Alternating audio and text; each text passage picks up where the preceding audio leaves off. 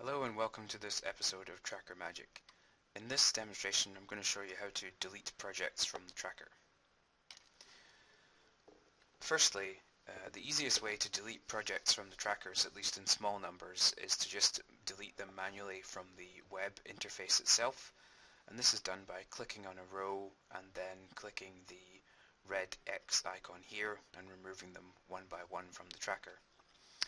If you want to, however, remove uh, larger groups of projects, maybe based on a uh, machine name or a tag, then you can use the project manager uh, and the delete function as part of the uh, tracker admin. It's worth noting that both of these methods just delete the records from the tracker and the Petrel project will still exist on the disk. So this is just removing information about that project from the tracker.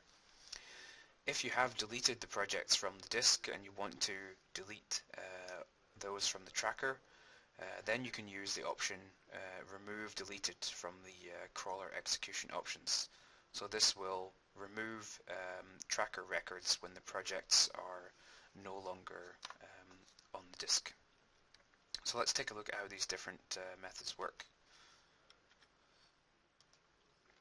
So the first method of deleting projects is just a simple, easy to way uh, method from the tracker web.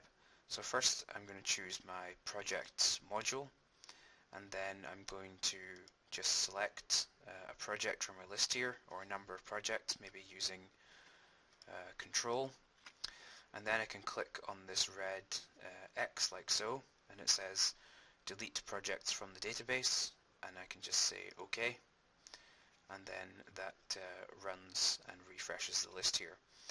However, that can be a bit cumbersome if you've got a lot of projects that you want to uh, delete. Uh, so in particular, maybe you want to delete uh, all the projects of a particular um, version or belonging to a particular user that uh, no longer exists. So the first thing you can do is you could, for example, uh, take a couple of projects and add a tag um, to signify that you know it's uh, no longer a useful project, like maybe tag it old versions, press OK. And then we could, for example, come to the tracker admin and then choosing the project manager uh, module.